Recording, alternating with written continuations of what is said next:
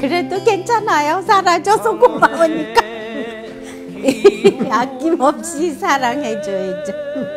사랑해요. 여러분도 사랑해요. 네, 네. 감사합니다. 흘리던 눈물 방울이 이제는